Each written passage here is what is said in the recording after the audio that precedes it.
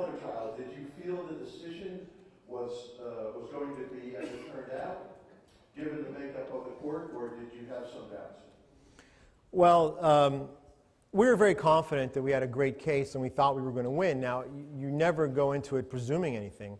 So no, I didn't, I didn't, I wasn't presumptuous to say, oh, of course we're going to win. I mean, I thought we would win, but you never know. You know, uh, courts do weird things. Juries, uh, it's not a jury case, but they also can be unpredictable. And so, no, we handled it like, like uh, you know, as though it mattered what we, what we said and did, and, and uh, that's the way you have to approach every case. So I, I don't think that we were, we were cocky. I will say this, though. Uh, there was a lot of criticism about whether to do the case, and here is where I, I, I think I have to address this. Um, it wasn't really optional for us to do a case like, like Heller.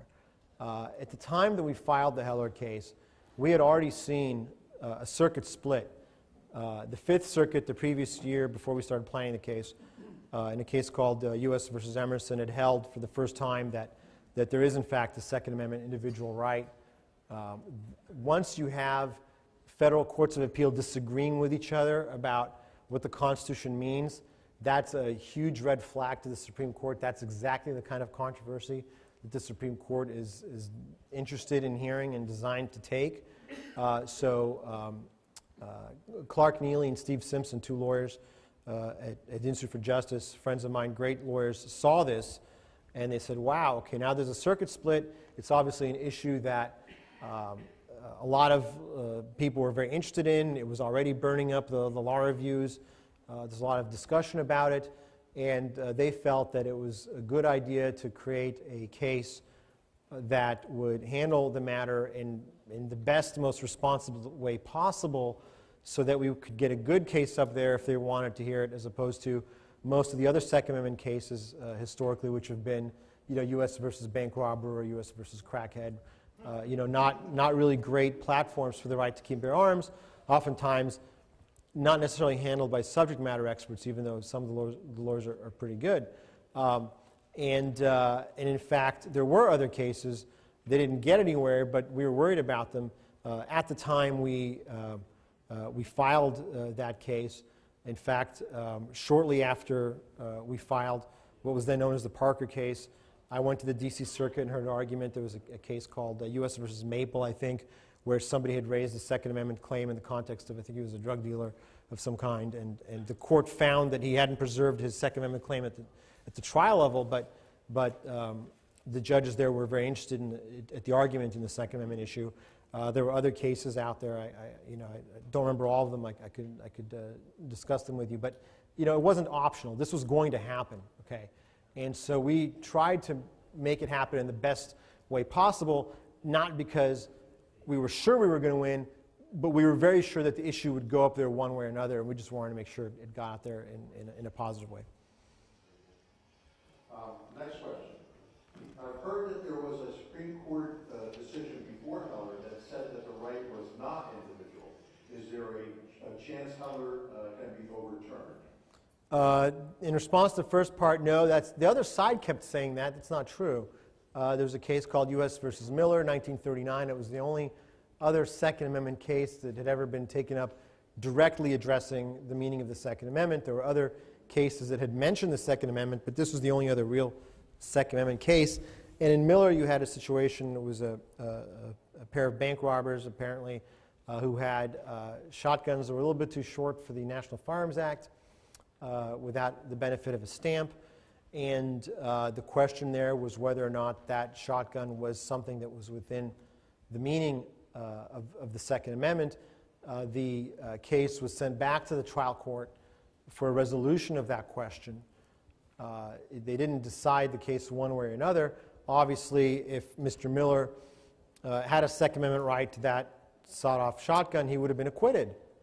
Uh, and, and, by the way, I should mention the case arose out in the highway. They were driving from uh, uh, Arkansas to Oklahoma. It didn't happen inside anybody's house. Obviously, if the Second Amendment's limited to the home, that wouldn't have been much of a case. It wouldn't have been heard. Uh, all the same, before the lower court could do anything with the Supreme Court's opinion, uh, Mr. Miller was murdered. Perhaps he needed that gun anyway, uh, after all. Uh, but, uh, but, but to say that Miller held that the Second Amendment is, is, is a collective right is erroneous. people have said that, courts have said that they're wrong. If the Second Amendment had been held to be non individual in that case, there would not have been a remand. Uh, it, would, it would have been a very different outcome. Uh, and then, can it be overruled? Well, technically, yes. I don't think it will be. Um, you know, the, obviously, if you have five justices who are on the court who uh, dislike the opinion and want to change uh, their mind about it, then of course that's, uh, that, that's something that we have to, to worry about. I don't think practically that's going to happen. Uh, I think it's very tough to overrule uh, flat out an opinion like this, especially considering that the overwhelming majority of the public accepts it. I think what we have to be more worried about, though, is to have five justices who will uh, limit it out of existence. They, they won't overrule it, but they'll say, well, we're going to harmonize it, we're going to explain it, we're going to limit its reach, we're going to say different things, we're going to um, minimize it. And, you know, courts are very good at shrinking things without absolutely, uh, you know, striking them down entirely. So I, while I think an outright reversal is unlikely, we do have to be worried about who is uh, appointed and confirmed to the federal bench. And also, not just the Supreme Court, but also your lower federal courts are very important. The Supreme Court, remember, takes very few cases, and uh, it can only fix so much. If you have a, uh, a lower federal bench that is uh, committed uh, to, uh, to be hostile to your rights, then you know, the Supreme Court uh, can only swim against that for so long and, and only to, to such an extent. Um, I'm sure the justices would, wouldn't agree with that, but that's, that's the reality. Not every case is going to go to the Supreme Court. And so judges matter, and they, you know, they matter when you uh, go out to vote. Okay.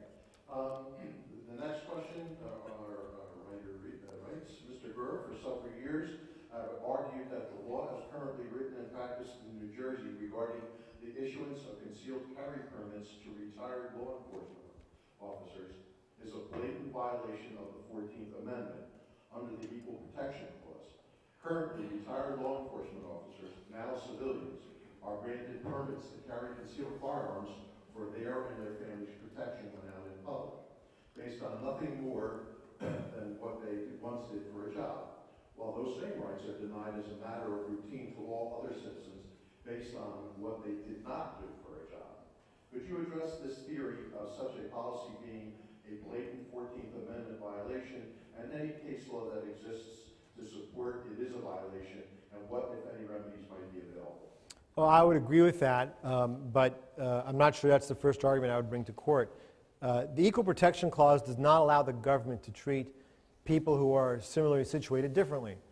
Uh, you cannot treat things that are um, alike differently. And what the courts would tell you, I believe, in that circumstance, and I, have seen this in, in, some other contexts, is they'll say, well, uh, you know, retired police officers are, are, special. They're different than you and I because they've had, you know, years of training and experience in carrying a gun, and so they're, you know, they're not like, you know, like you and me. They have the benefit of all this, of all this extra uh, knowledge and uh, experience, and therefore to treat them differently uh, is is um, uh, is okay. They're not similarly situated.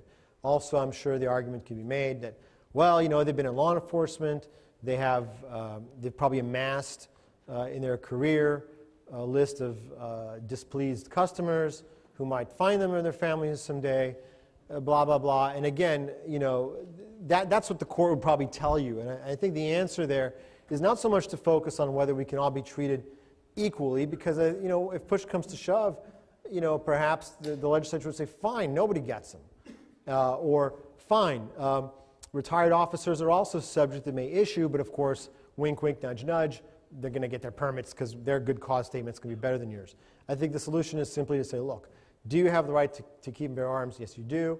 Therefore, uh, licenses must be issued to people who meet objective standards that are themselves constitutional. No more of this, you know, looking at people to see if they're good enough to have their rights. Next question. In New Jersey, the firearms owner is a criminal unless uh, by exception. Basically, you're on your way to the range or uh, in your home. Uh, the way the law is written, uh, well, hunting, etc. I'm just trying to. According to the law, okay, are the New Jersey laws illegal according to the Supreme Court Yeah, a lot of them are. I mean, we're going to find out, uh, you know, because they're all going to be litigated. That's what the fun is, and you know, we're, we're, we're, we're doing it. I mean, you know. I may not have read that cor- completely correctly, as a- I I wasn't understanding it entirely. But it says, did the did the person that wrote that uh, want to clarify? or- Yeah, Frank. I, I, I'm sorry. I- Yeah, no, when I said it, it's maybe the word's a little strange. It's Just, the way the laws are written in New Jersey, you're a criminal with exceptions that allow you to own a firearm legally. You know, uh, under the range, hunting, et cetera, blah, blah, blah. Those laws, and the way I interpret the decision by the Supreme Court, those laws have to be illegal because you can't be a criminal just for owning a firearm. That's the way they're written in New Jersey. Thank you. Thanks. Well, the semantic form of the way they're written, I think, is less important than, than, than the, with, with, um, than their impact. I mean, if the impact is that law-abiding people aren't entitled to have a gun, subject to restrictions, if it's, you, you know, then, then, uh, then you have a problem. Uh, even if you say, even if you don't have that presumption, uh, of illegality, um, but you still have that effect, that's still a problem. So I wouldn't focus so much about the form of it. But yeah, you're right, the form does suggest very strongly that there's a problem with that law. Because this is, again, something that is your right. So any law that starts out with, you have no right to do this, except indicates immediately to the court that the legislature had it backwards.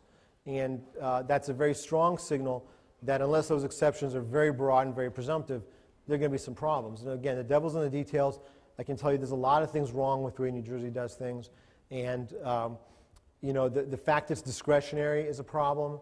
Uh, obviously, we're challenging that. And uh, there are going to be other issues as well, I'm sure. But uh, that, that, uh, that is going to be resolved by the court. Thank you. The next question is interesting. The 2005 federal gun-free school zone bans firearms within a thousand feet of a school.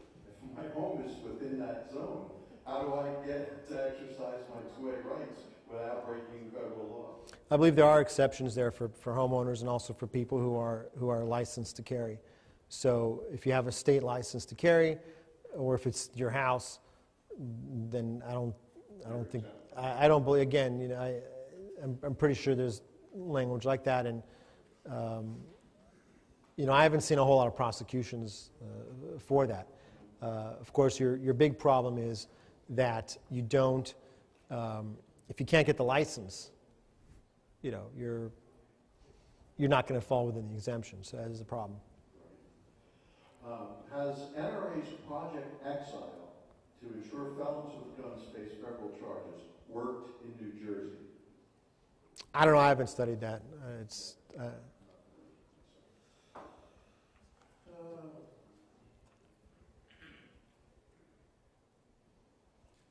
your relationship with the NRA uh, before Heller and after Heller? Um, you know, always an interesting question. I get this a lot. You know, the thing about NRA you have to remember is it's, it's a very large organization. They do a lot of different things, and there are a lot of different uh, people and departments within it. And so the relationship with some aspects of, of NRA is good. The relationship with other aspects of NRA is, is not good. Uh, it, it really depends on, on what we uh, talk about. I can tell you that the relationship with ILA is hostile and uh, not constructive. Uh, the relationship with other parts of NRA is, is good. Uh, uh, NRA does great things. I always encourage people to join that organization. I don't have a problem with it. I think they, they're, they're necessary and they do good things, but they're very, very territorial, and, and uh, I don't think they like it that other people are involved sometimes uh, doing these things, and so they, they get upset. you know, what can I say? It's, that's, that's the reality. And, and they're, not, um, they're not helpful sometimes. Okay, thank you. Uh, What type of test slash scrutiny do you foresee developing for barriers to uh, home ownership? That's the first one. What barriers will develop? Well, the other side is always going to try to develop barriers. What's important for us is to uh, develop constitutional doctrine that's going to defeat those barriers, whatever uh, form those barriers take. And we've done that to a large extent with Heller. We've seen a lot of courts now say, even the ones that are very reluctant to uh, find uh, a Second Amendment right outside the home or under different circumstances, they always like to sort of go back to, to, to Heller and say, well, in the home is this sort of holy sacrosanct place, and of course you can't touch guns when they're in the home. And that's actually got a lot of precedent to it generally um, uh, in American law. Uh, you know, the Fourth Amendment has extra protection inside the home, uh, for example. The home is, is a place of additional protection under American law, and that's true of the Second Amendment, as it is uh, with any other uh, part of the Constitution.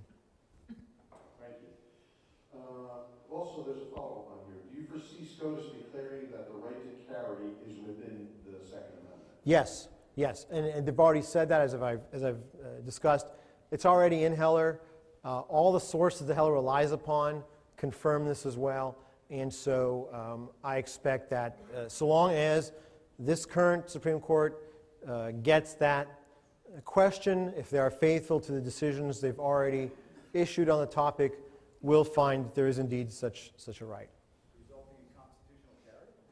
No, I, uh, I don't like shout out questions when I'm in this, but, uh, uh, but I don't, was that question related to constitutional carry or not? It, it's, it's, I'll answer it anyway, but please, you know, we're, I, I, I do the format that the host tells me to do, so um, I don't, all right, you know, okay, because uh, I don't like that term, constitutional carry. I think it's a misleading term, and I don't think it's, I don't think it's, um, uh, it's a useful term. Uh, People usually say constitutional carry to refer to a, a system of law where uh, there are no regulations on the right to carry. uh, that, uh, for example, as in Arizona or Alaska or Vermont, uh, Wyoming, I think now has a version of this, although I think it's only for residents, uh, where you don't need a license to carry a gun openly or concealed. Um, I don't believe that that is going to be something that the Supreme Court will find as a, as a Second Amendment matter. Uh, they've already referenced uh, many, many cases historically that have uh, allowed prohibitions on concealed carry, as I've discussed. So they're going to allow a measure of regulation, and they're going to allow licensing. And you know, I'm a very libertarian person. I don't like a lot of licensing for a lot of things, but you know, this country, the, the world we live in, is not you know my personal utopia, and we're going to have licensing allowed uh, so long as it's done objectively, so long as it's done in non-discriminatory fashion, so long as it's done fairly, uh, and so long as it's not a ruse by which to deny people their rights.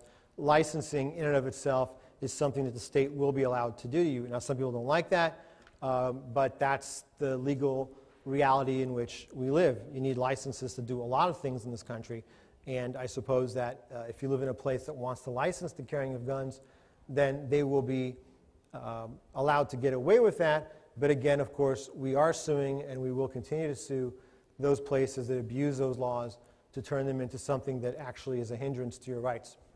So I, I don't know if that's the answer. Um, Several states uh, besides New Jersey, uh, for instance, uh, Maryland, California, Illinois, New York, et cetera, uh, are, a little- some of them are farther along in the system than the New Jersey case. Uh, Do you have a feeling as to which case will reach SCOTUS? Oh, I have no idea. This is always so tricky because you know your case could be going along, and uh, then something happens. You know, for example, in California and indeed in the entire Ninth Circuit, everything is frozen. Uh, every time they get a gun case now, they're saying, "Oh, we can't decide it because Nordyke is out there." This is the the gun show case that's going en banc now for the second time. And I always joke with my good friend Don Kilmer that before this is all over, he's going to have to go to the Hague. He's going to have to go to the Intergalactic Court of Justice. I mean, that's a case that's, you know, you know, they, they, they just don't, uh, you know, they, they can't come up with a decision, and every decision they come up with, they, they, they pull back.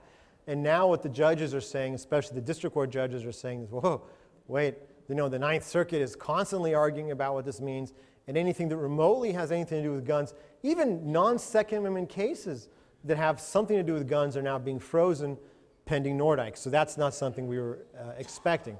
We have other cases where we filed them a very long time ago and they haven't been decided yet.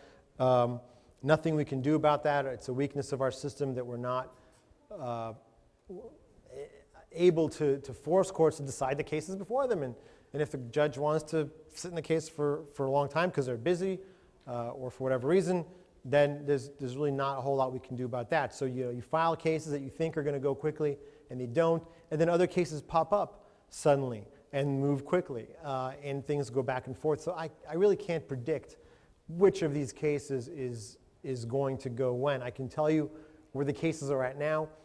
Uh, the New Jersey case, which I'm sure most people here are most concerned with, uh, I believe the opening brief there is due April 9th. Uh, uh, Hightower, which is the First Circuit case I'm handling uh, out of Massachusetts. Uh, that one, uh, we filed our opening brief. It's, it's, um, the other side got an extension. They're going to answer that uh, also mid April. Uh, we have um, uh, a case in the Second Circuit out of New York also. Uh, uh, it's our turn. Our reply is due April 3rd. Uh, we have uh, the Moore case out of Illinois. Uh, that one, our opening brief is due March 19th, uh, and, and so on and so on. And again, these cases are finally starting to, to get some traction. Once you get out of the district court, then they go on a more regular schedule, not entirely linear, but the district court is, is the place where you start out, and that's the one where you know you really don't know when you're going to get out. Once you are in the Court of Appeals, they are pretty good usually about moving things along uh, in a more structured way, and so that things uh, start to proceed somewhat more rapidly. We're still waiting for decisions in other cases, uh, and we'll see, but I have no idea which way the ball is going to bounce there. If I knew that, you know, play the Powerball or something. Uh, Person asks, if God forbid one needs to shoot and kill a perpetrator, and the uh, law enforcement, law enforcement want to search your house, do you have a right to refuse? If they don't have a warrant, you know, sure, we get a warrant. You know, uh, if they have a warrant, then they get to search your house. Uh, Was there a reason that you went after DC first, or was that by chance? Not by chance, very much by design. Uh, there are a number of reasons to go after DC first. Um, three reasons primarily. Uh, first of all, DC had the craziest law in the country.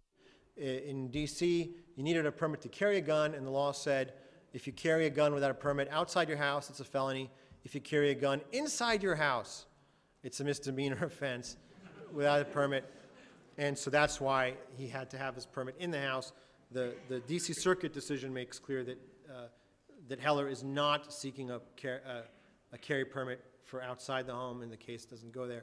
Um, and then the third thing that, that was unique about DC that was worth going after first is that the DC Circuit, remember we have these federal courts of appeals, was, uh, was an open circuit. Arguably, it was even in our favor. We made actually that argument.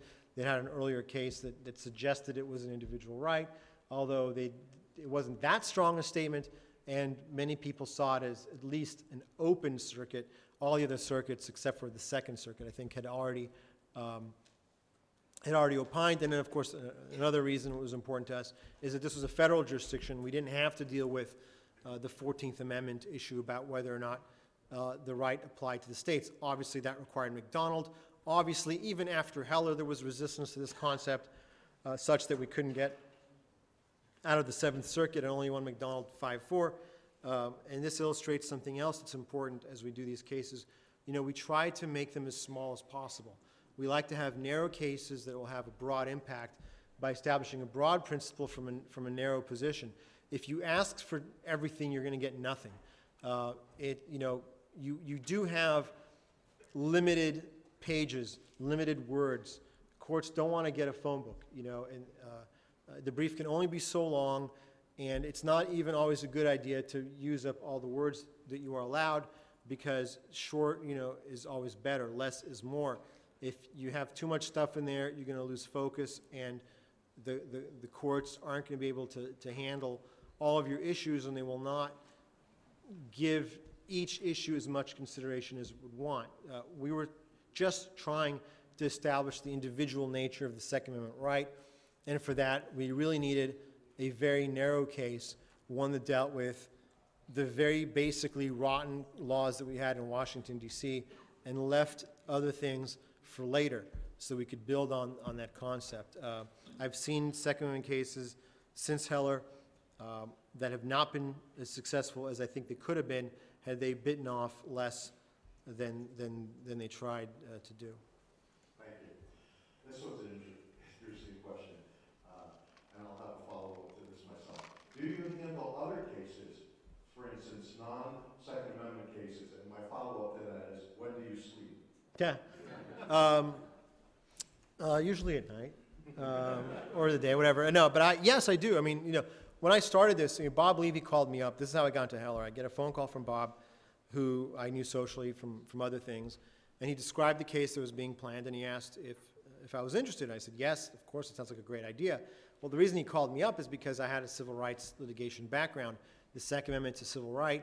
Uh, there is no uh, Second Amendment uh, lawyer part of the phone book, okay? It's not that big a field. Um, and yes, I do handle other things, uh, mostly in constitutional law these days.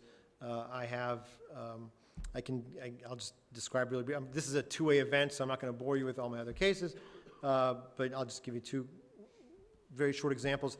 I'm wrapping up, um, it's a district court case, uh, I'm challenging a campaign finance law, um, uh, suing the FEC on behalf of the Libertarian Party. Uh, They got a phone call one day that a very, uh, a donor had left, had died and left them a donation in an amount exceeding the campaign, uh, the finance limits. Uh, You can only give so much money to a political party every year. What happens if a political party receives a bequest from somebody who dies and leaves it a lot more than the, the federal limits? Well, we argue that um, uh, the deceased in this case is not trying to associate with the party, they're trying to express themselves. And, uh, and, and, and so you have to look at it not as the associational way that courts look at, at campaign laws, but also as a, as a, uh, uh, more as a um, speech case. And uh, in fact, there is no quid pro quo possible. Uh, the decedent is gone. They can afford to uh, uh, irritate him as much as they want, so long as their religious views don't think there are any consequences for that. Uh, it's not something that campaign finance law should reach. So I'm arguing that campaign limits shouldn't argue to bequests. If you want to leave it all to some party, you should do that. Uh, I have a case in Michigan now I'm pursuing. This has been successful already to some large degree. I represent a local brewer whose beer was banned because the state of Michigan's Liquor Control Commission didn't like the label on the beer. And uh, they thought it was offensive and immoral and uh, bad for people to look at. And we uh, explained that there's actually a First Amendment in this country, and they don't get to ban the beer because they don't like the label. Um, the, they, they, um, they saw the light, they rescinded the ban, but we still have an action for damages that's open, so uh, that's something. So yeah, I do other things as well, and, uh, Very good. you know. Um, Volkov wrote a law review describing a method of scrutiny to be used regarding gun laws. Can you? Volk, Eugene Volk. That's a show that I watch. Vol- Vol- how do you that? Volkov. Your. Eugene Volk, yeah. Pollock wrote a law describing a method of scrutiny to be used regarding gun laws. Could you explain it? Does it work?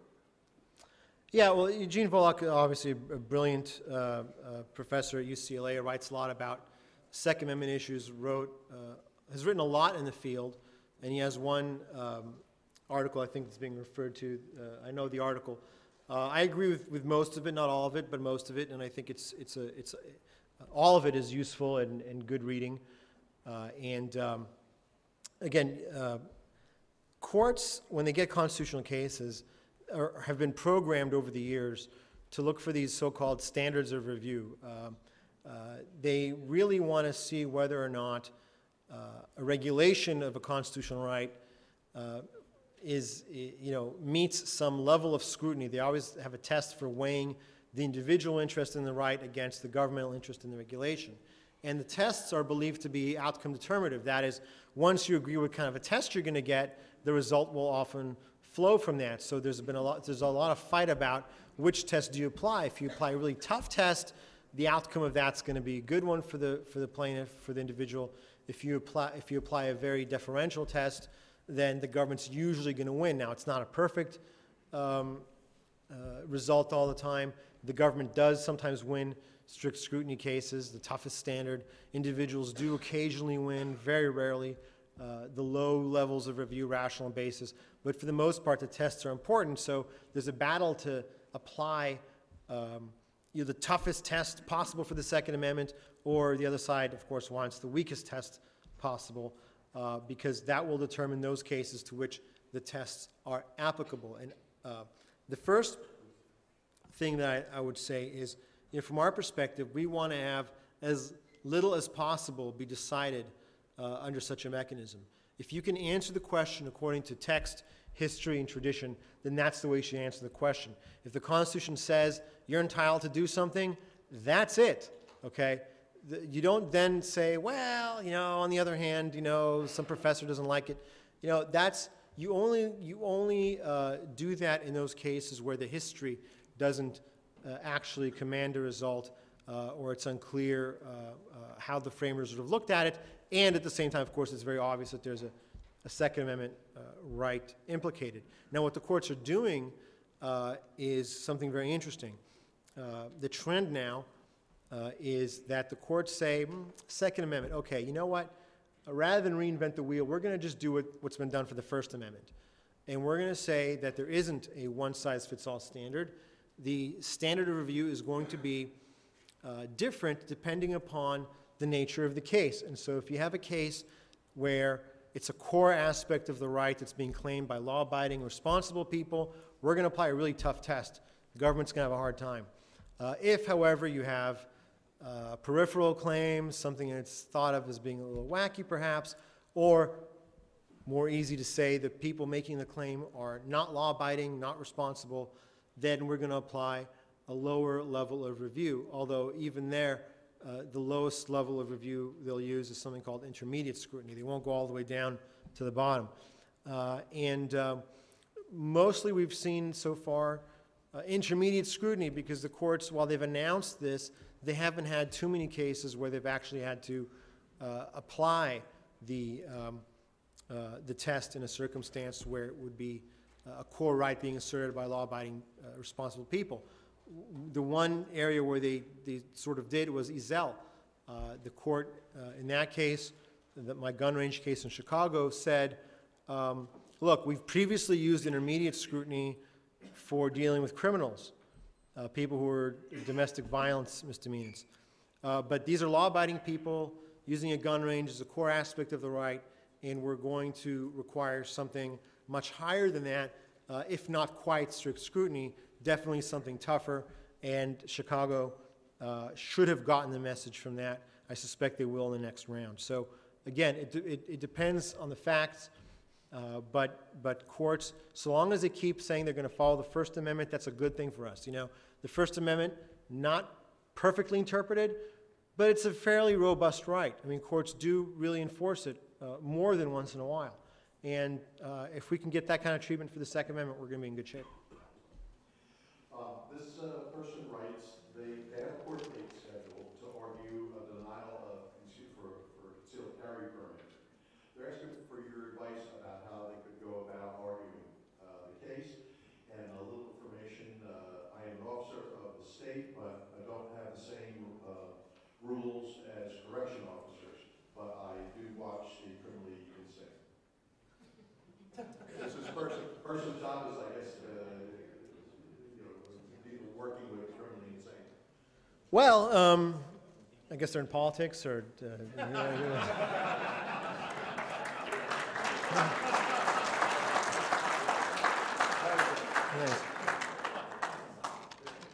Well, I, I can't really give legal advice to anonymous people who submit a card um, you know, telling you how to argue your case. So I can say good luck. I mean, I, I'm not sure how.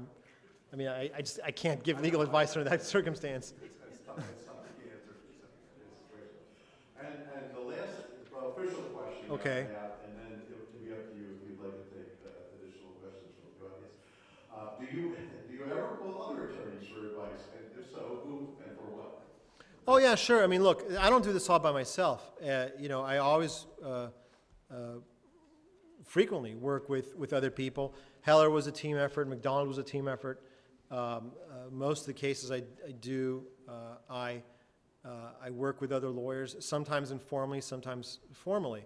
Um, uh, part of it is uh, speaking to, well, there, there are two kinds of people that I've worked with in these cases.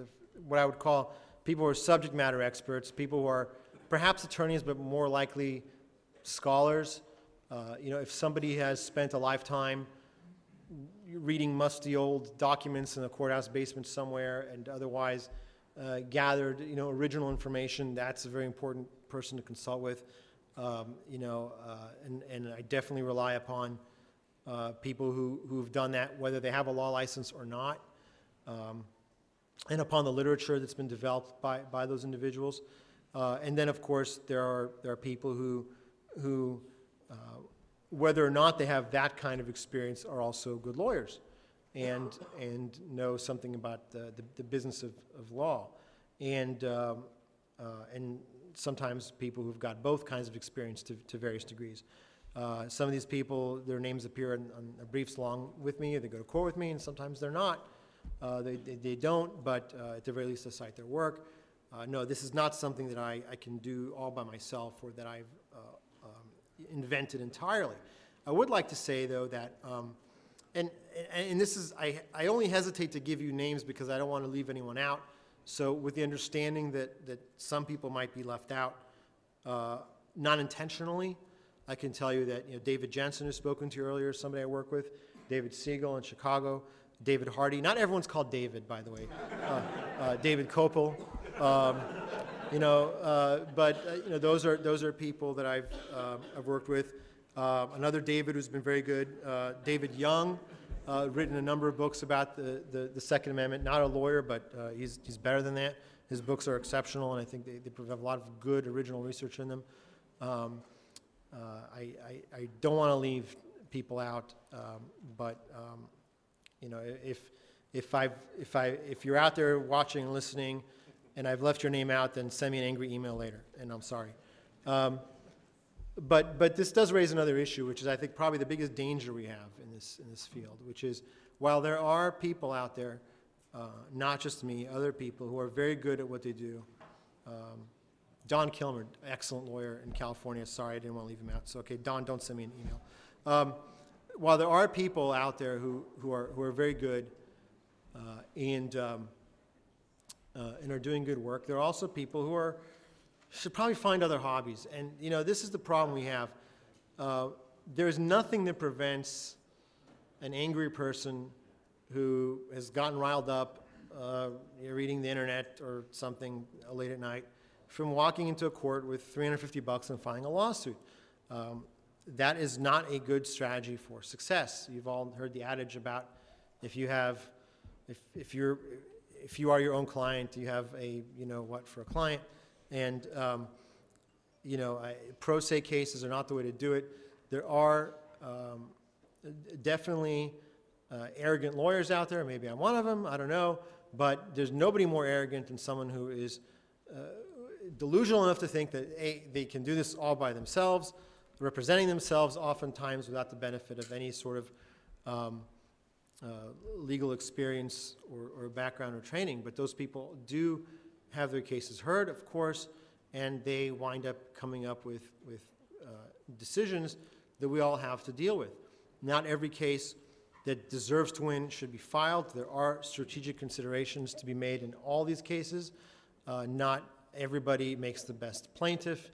Not everybody is qualified to represent themselves, but uh, this is a, a, serious issue for us. we we do have people out there doing this who um, really are not remotely uh, uh, qualified to, uh, to do it, and they, they do cause damage. That's different than other lawyers with whom we may have a disagreement, you know. Yes, lawyers disagree with each other, that's fine, that's normal. If another professional differs in their opinion uh, from mine, that's fine. I respect that. We're, you know, not everyone's going to agree on everything.